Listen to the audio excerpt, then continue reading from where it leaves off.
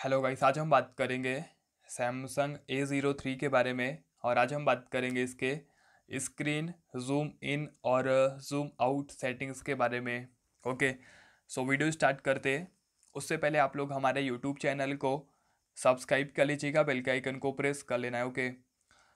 So first of all हम यहाँ पे ओपन करेंगे सेटिंग्स को, ठीक है? इसके बाद हम यहाँ पे जो है डिस्प्ले सेटिंग्स को ओपन करेंगे ओके और इसके बाद, यहाँ पे देखिए स्क्रीन जूम का ऑप्शन हमें देखने को मिलता है, इस पर हम क्लिक करते हैं ओके तो देख सकते हैं आप लोग किस टाइप का हमें यहाँ पे इंटरफेस देखने को मिलता है, जो कि स्क्रीन जूम का डिफ़ॉल्ट सेटअप है ओके तो हम इसको इतना भी कर सकते मतलब काफ़ी कुछ कैटेगरी वाइज भी सेटअप कर सकते, देख सकते आप लोग कि ऑटोमेटिक जो है यहाँ पे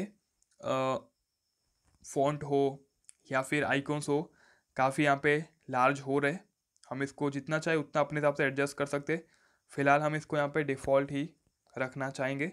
सो इस तरीके से आप लोग अपने फ़ोन का जो साइज़ वगैरह रहता है ना, आप लोग इसको सेटअप कर सकते ओके सो मिलते हैं नेक्स्ट वीडियो में। जय माता दी।